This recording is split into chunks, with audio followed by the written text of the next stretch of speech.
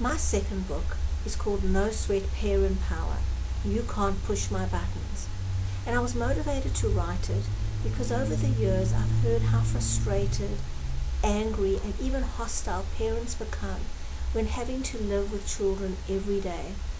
Let's face it, even good kids can be tiring. You know, it's the everyday getting up, getting ready, getting dressed, eating that can drive you crazy. And more difficult kids can really make us chronically angry and even hostile.